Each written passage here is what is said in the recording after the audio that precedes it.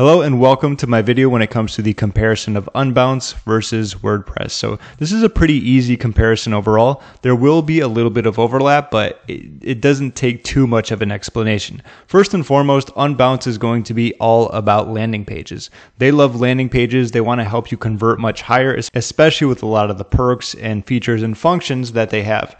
On the other hand, WordPress is going to be, well, it can be used for a lot of things. Overall, one of the biggest reasons why you're going to want to use WordPress is because you want a website. This is similar to the comparison of Unbounce versus Wix. Which one are you going to use? Well, it depends on what you're looking for. In my opinion, if you just wanted landing pages and you're really focused on generating leads, making sales, or maybe other type of actions, maybe you want to get phone calls, uh, book a reservation, get a coupon, whatever the action is going to be, I think Unbounce is going to be perfect for you in this comparison.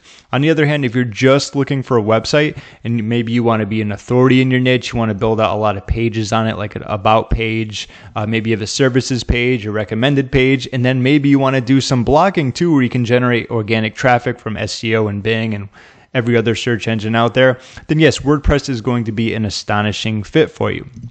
I guess you could say the caveat here is going to be that WordPress can do a lot of things that Unbounce could. However, that's going to be having to involve probably a few more plugins and themes. The cool thing about WordPress is that eventually you can build landing pages if you want. You might need a few other tools, but we're not really comparing those other tools. We're just talking about WordPress in general.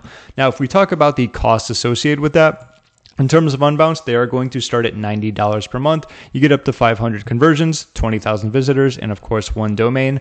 All of the plans include unlimited landing pages, Unbounce apps, and of course, unlimited pop ups and sticky bars, which I rave about all the time. However, I do have a link down below, and if you would like to try out Unbounce with their free trial, you will get a discount if you would like to move forward. So you get 20% off your first three months, and if you go with the annual payment, you get 20% off the entire full year, which is always cool.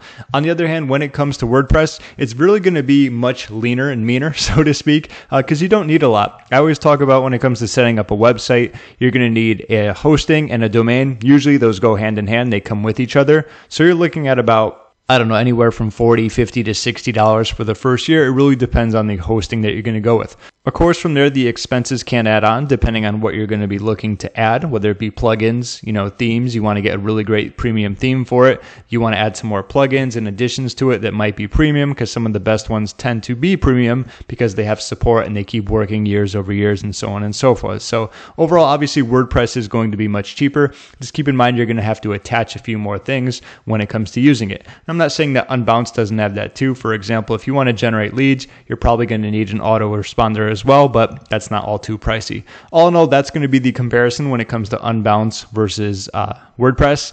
In the long run, if you just want landing pages, you're looking for leads and sales, then Unbounce is definitely going to be your choice. I'll leave a link for you down below. And on the other hand, if you're just looking to create websites and you want to get that organic traffic, you want to start doing some blogging or you want to be an authority in your niche, WordPress definitely has your back. Just make sure you get some solid hosting along with a domain to go along with it. And that should help you get going from square one. So that's about it. Thank you so much for watching. If you have any questions, feel free to leave a comment down below. I will leave some more links in the description in case you want some more information about Unbounce. But that's about it. Thanks again for watching, and I hope this helped you out.